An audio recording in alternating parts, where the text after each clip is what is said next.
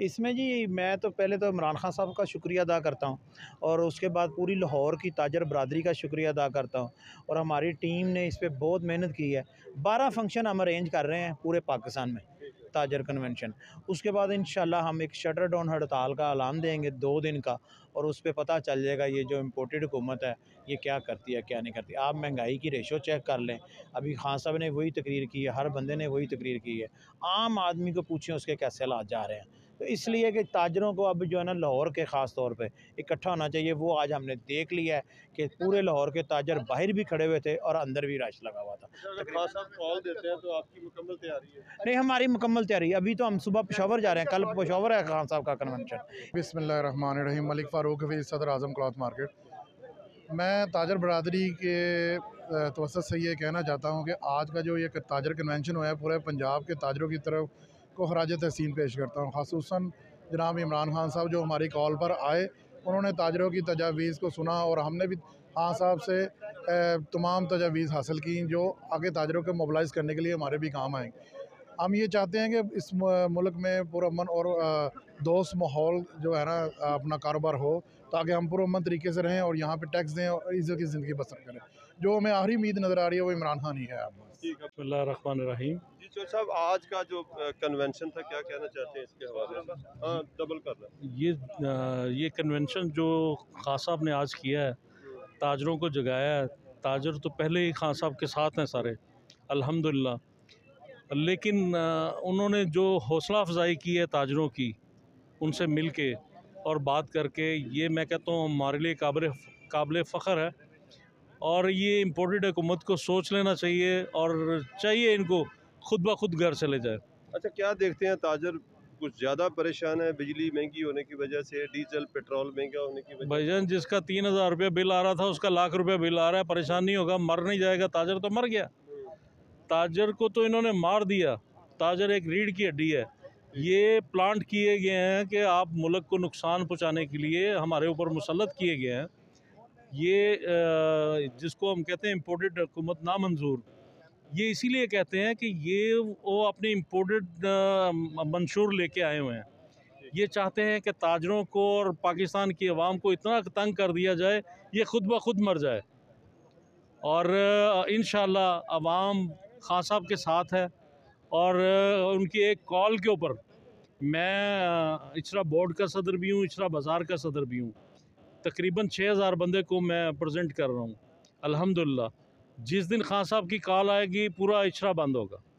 अल्हम्दुलिल्लाह। देखें जी आज पंजाब के आ, मुल्क मतलब पंजाब भर से जो है ताजर बरदरी यहाँ पे इकट्ठी हुई है और इमरान खान साहब को सुनने के लिए यहाँ पे आए थे और इमरान खान साहब ने जो है आगे के लाइमल के बारे में जो हकीकी आज़ादी का सफ़र है जिसके लिए वो स्ट्रगल कर रहे हैं पूरी कौम के लिए स्ट्रगल कर रहे हैं उसके लिए आज आए थे और उन्होंने मैसेज दिया है और इन ताला पूरे मुल्क के ताजर इमरान खान के साथ खड़े हैं क्योंकि जिस तरह महँगाई और जिस तरह के मामला और जिस तरह टैक्सेस की इम्प्लीमेंटेशन हो रही है ताजर परेशान है। ताजर इस वक्त चाहता है कि जी इमरान खान साहब वापस आएँ, क्योंकि इनकी पॉलिसीज़ और इनकी जो ताजरों से दोस्ती थी, वो जो ताजर दोस्ती पॉलिसी थी, वो बहुत अच्छी थी। और अल्हम्दुलिल्लाह, इमरान खान साहब के दौर में ताजर बिल्कुल खुश था और बहुत अच्छे मामला जा रहे थे। तो आज लाहौर के अंदर एक बहुत बड़ा गट हुआ है और इन कल जो है पिशावर में ताजर कन्वेंशन से खान साहब खिताब करेंगे और ये नासिर सलमान साहब की जो है एफ़र्ट्स हैं, नासिर सलमान साहब ने एक तारीखी फ़ंक्शन करवाया है और इसके उस पर वो मुबारकबाद के मुस्तक हैं और इन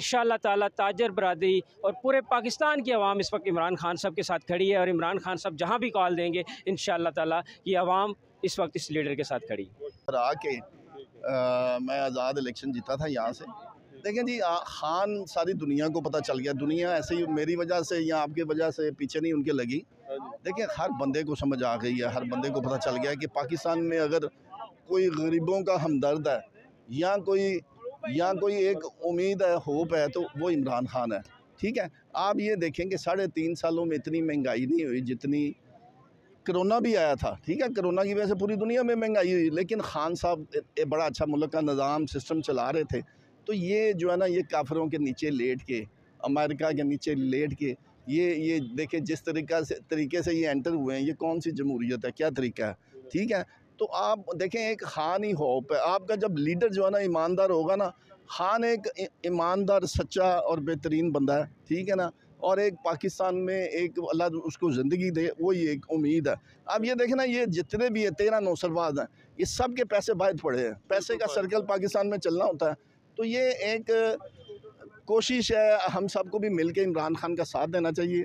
दुनिया वैसे जैसे जैसे ये इन्होंने हर हरबा इस्तेमाल कर लिया, ये जो जो करेंगे उतनी ज़्यादा इमरान खान के पीछे दुनिया निकाह आप देखें उसकी एक कॉल पे, हम तो महँगाई के ख़िलाफ़ देखें ना, महँगाई के ख़िलाफ़ बिल बिल इतने ज़्यादा हो गए हैं कि लोग बीस हज़ार, अगर किसी की सैलरी है, उसको तीस तीस हज़ार रुपये बिल आ गया। ये पहली दफ़ा ज़िंदगी में हुआ है कि ये जो साढ़े तीन, चार महीनों में जितनी महँगाई हुई है, खान के चार सालों में उतनी महँगाई नहीं हुई। और लोग इतने परेशान हैं जो सफ़ेद पोश आदमी है आप जैसा मेरे जैसा वो इतना परेशान है कि उसको डेली दिन तीन दिन दो तीन दफ़ा सोचता है कि बनेगा क्या।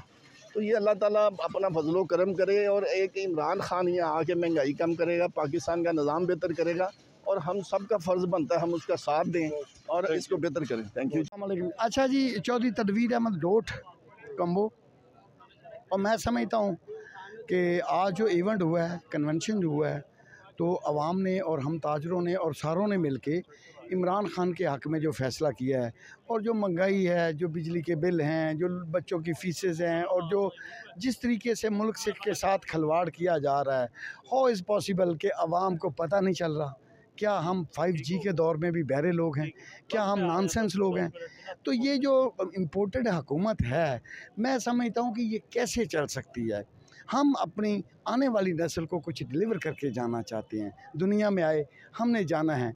लेकिन ये जो 1947 से लेके टिल अभी तक एक माफिया, एक इस तरीके से, इस इस तरीके से मैं माफिया तो नहीं कहूँगा, मैं समझता हूँ कि जिस तरीके से इन्होंने हमारे मुल्क को मैनुपलेट करके उसके ऊपर कब्ज़ा किया हुआ है तो मैं ये, हम चाहते हैं कि हम आज़ादी का सांस लें।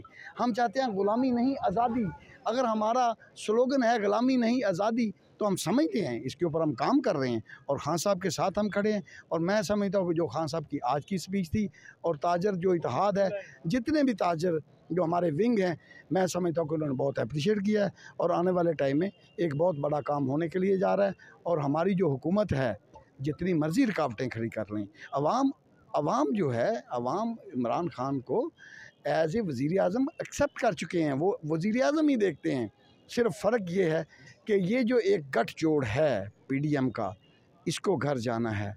और ये मैं समझता हूँ कि इनको ज़िल्लत और रसवाई के अलावा कुछ मिलने वाला भी नहीं है। और इनको जितनी जल्दी हो सके अपनी इज़्ज़त बचाएँ, क्योंकि जो हिस्ट्री होती है, उसमें पॉजिटिव और नेगेटिव लोगों की समझ आती है लोगों ने, लोगों को।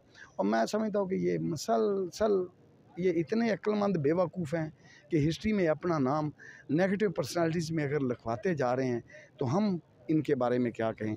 थैंक यू वेरी मच जी। बहुत बहुत शुक्रिया।